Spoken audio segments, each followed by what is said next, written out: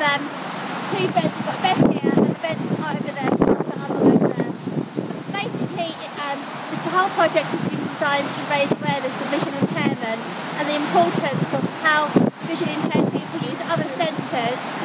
Um, we, I've got some fantastic helpers come along today who have been planting up and, and it, it, again, it's all part of what I believe um, how a community should work together, you know, when people living here or working here. Um, and it, it, it, it just, it's just the whole kind of the idea of how the Four Swans Vision uh, works really as a group.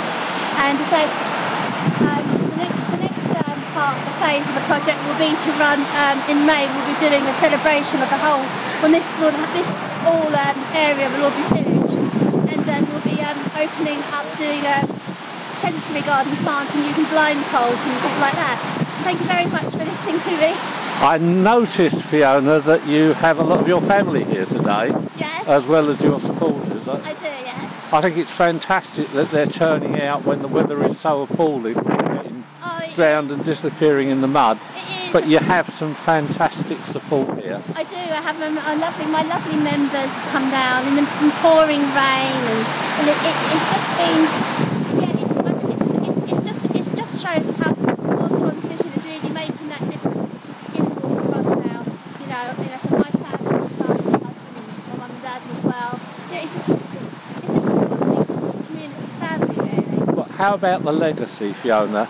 Um, are you going to be trying to maintain certainly your beds and making Yes, sure that This is all part because our office is so close to this area. You know, so you know we'll be able to visit in the summer and you know come over here and you know just this is all part, part of what we wanted to do. We wanted to be part of this community here in Waltham Cross, and um, this is what we wanted to. Yeah, we, and we're using these sensory gardens as as legacy of Four Swans Vision, and hopefully we'll raise some funds and get some cards put up to show that this is the Four Swans Vision and where we are here in Waltham Cross. Thanks very much. What did you think when you saw the weather this morning? I thought, oh no, goodness. I thought, well, at least you won't have to walk. You won't have to walk to them. That's true. That's what the positive You always side. think of a positive thing, you see. Think of something positive, but that doesn't sound so bad.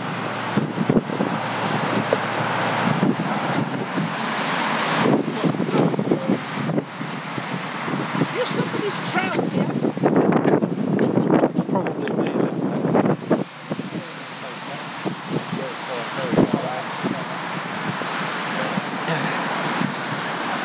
We love something. Yeah. I was just trying to put faces to names. So you- you're, you're, you're and it's an absolute privilege to um, help visually. Lovely, doing a good job. Thank you. Together. Oh, yes, hello, I'm Councillor Paul Seeby, Broxbourne Council. I'm the executive member for Housing Development. Uh, and, and I'm here to ensure that we can turn this, you know, this lovely bit of space between Enfield and, and the borough of Broxbourne uh, into community use so we can or will community hub and opportunity for the community to enjoy. That's lovely. It's amazing, even with some horrible weather. Yes, well, the weather, the weather could be kind to us, but, uh, It's in France though. but we will supply as